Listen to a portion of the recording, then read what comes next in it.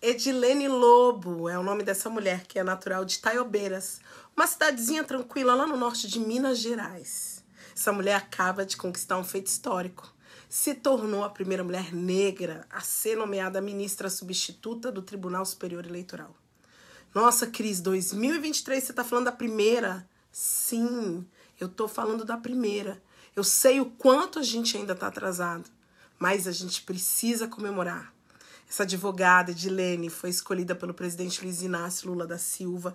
Ela vai ocupar a vaga do ministro André Ramos Tavares e vai substituir o titular nos casos de impedimento e de ausência.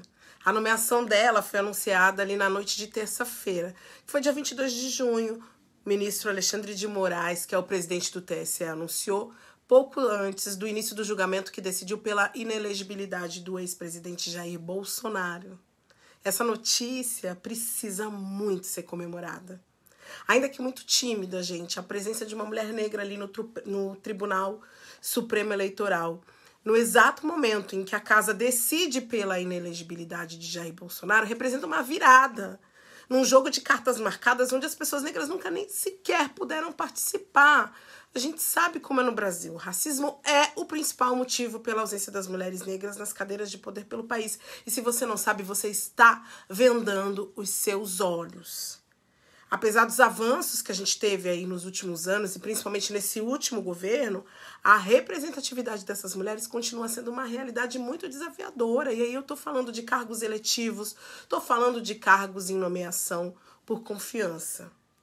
Eu sou uma sonhadora, eu sonho muito alto. Eu quero ver, sim, uma mulher negra presidente do Supremo Tribunal Federal. Quero ver uma mulher negra presidente do Brasil.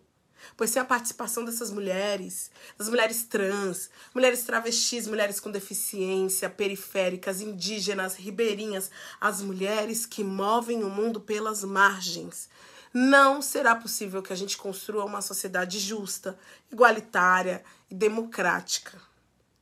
É imprescindível a nossa luta, gente, para que a gente possa ampliar esses espaços, para que as decisões políticas possam refletir a diversidade e a realidade de todas as nossas brasileiras.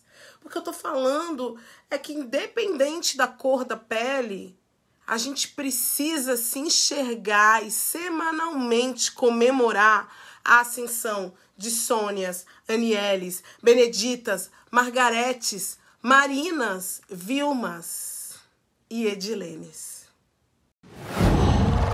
Whoa.